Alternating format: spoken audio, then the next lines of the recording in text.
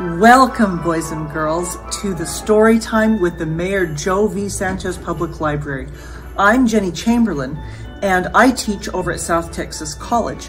But I think it's so important to learn how to read and spend time reading because I know it's what's going to help you build your brain and grow more and more intelligent and prepare you for your future. So today, I'm going to share with you the story of the Paper Bag Princess. This is one of my all-time favorite stories.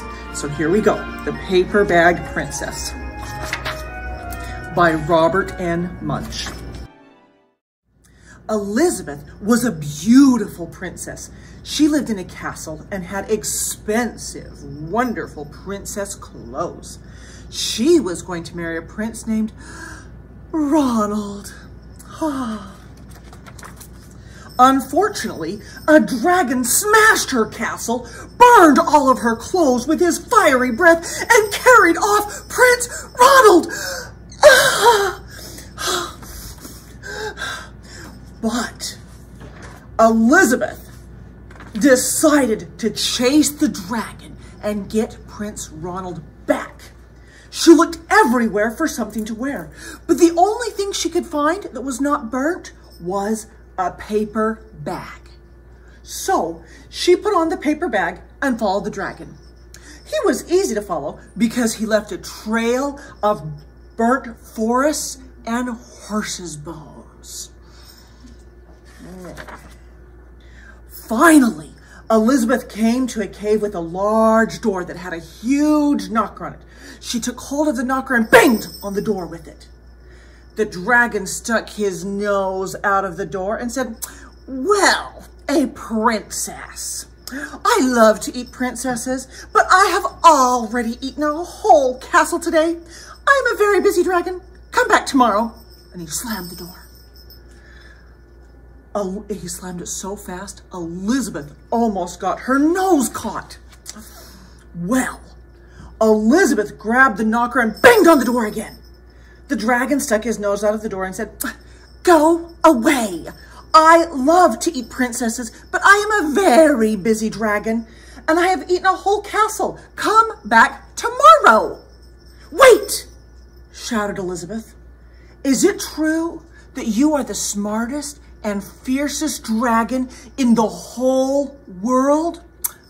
Why, yes it is, said the dragon. Is it true, said Elizabeth, that you can burn up 10 forests with your fiery breath? Whoa.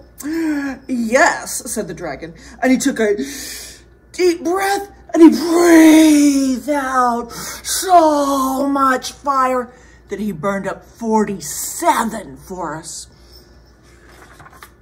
Fantastic, said Elizabeth. Do it again. And the dragon took another huge breath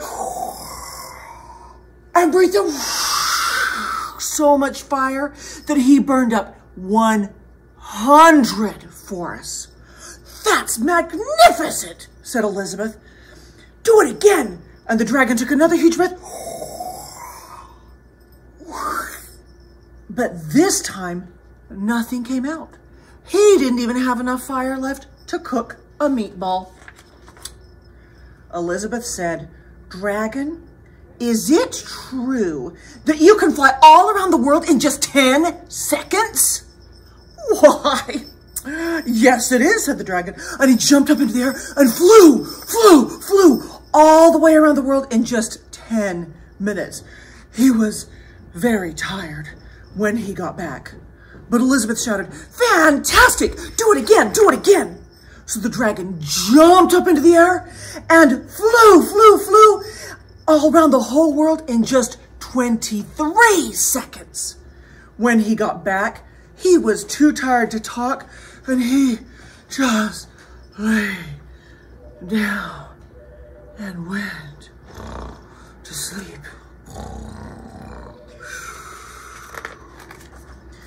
Elizabeth whispered very softly, Hey, dragon.